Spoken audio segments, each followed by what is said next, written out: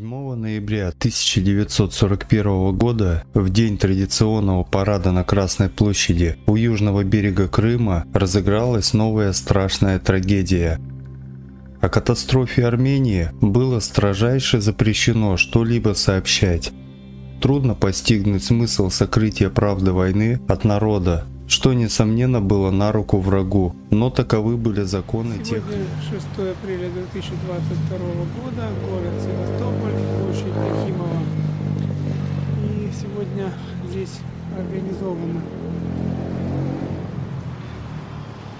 вот такая вот.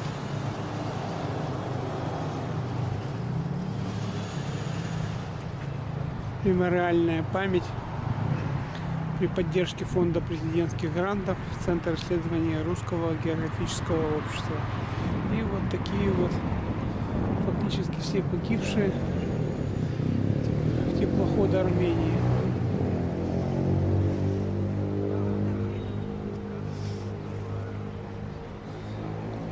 Он вышел из Ялты и был обстрелян немецкими бомбардировщиками, после чего затонул. Вот такая вот много фотографий различных, связанных с подводными фотами Армении. На борту Армении находилось достаточно большое количество людей.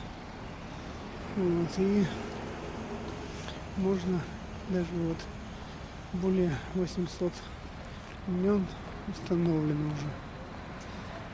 Вот фотографии этих всех людей, которые погибли на этом пароходе.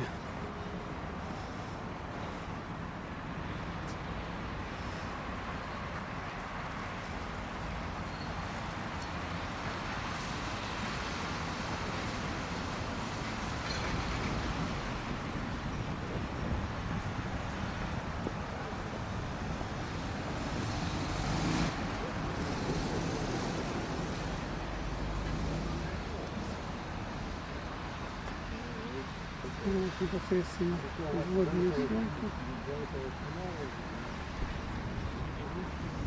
Более 20 лет шли поиски данного теплохода.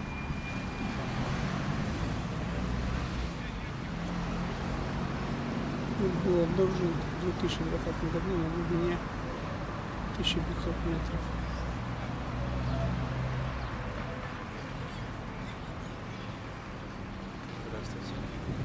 Если будут вопросы, какие-то средства Пока вопросов нет.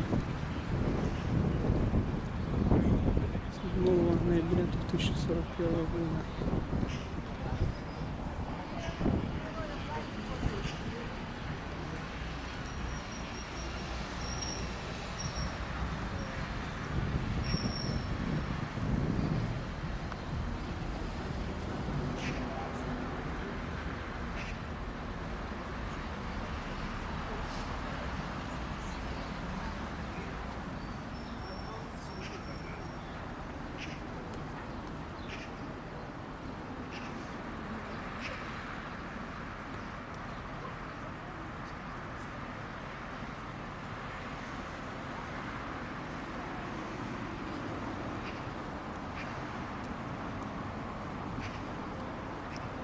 Пять с половиной тысяч человек. Точное число жертв, как и их имена тех, кто находился на борту, до сих пор неизвестно. Вот такая трагедия произошла в Крыму, в 30 километрах от Ялты. Очень здорово, что организована такая такое мероприятие, где расписано, чтобы люди знали о тех людях, которые, в общем-то, погибли. Владимир Яковлевич Лаушевский, командир ТС Армении. Вот такие герои были.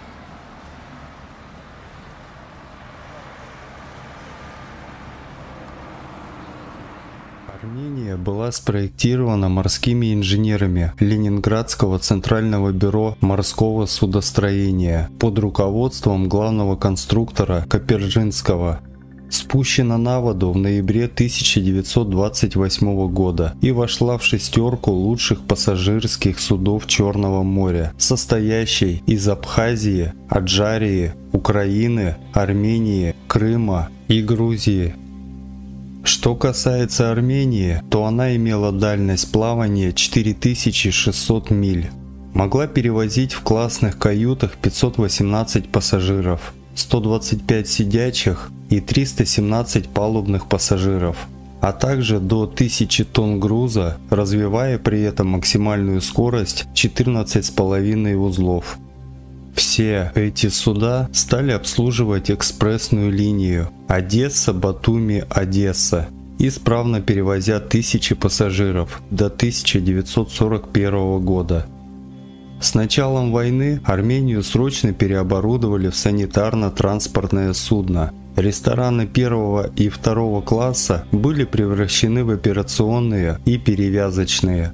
Курительный салон в аптеку.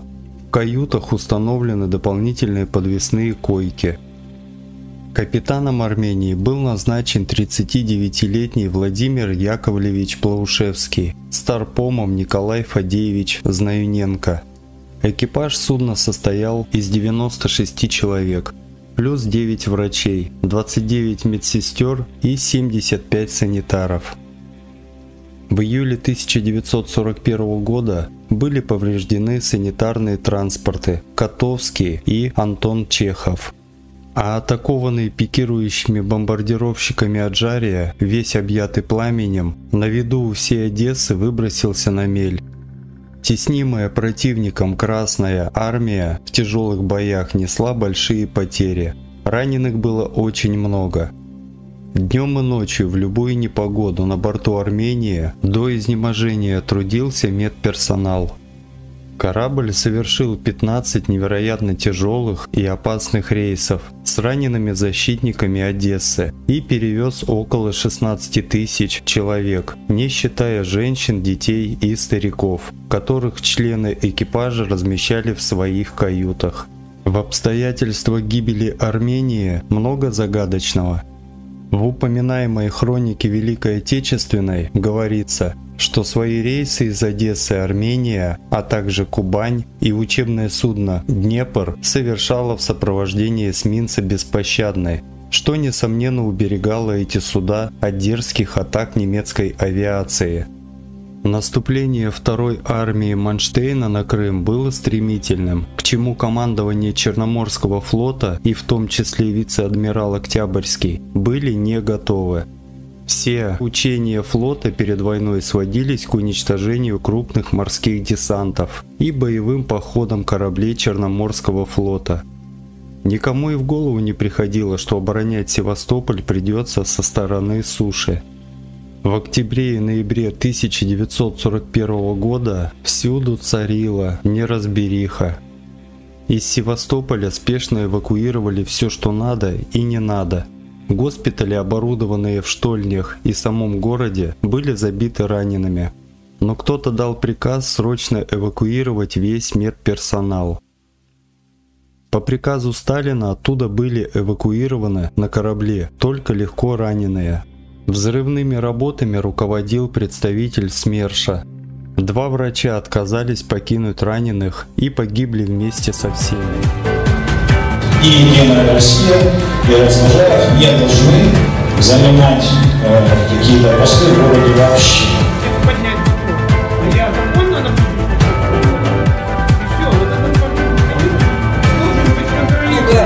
больше, чем в Севастополе принято. То есть уменьшили, мы все делаем для севастопольцев, никто же не.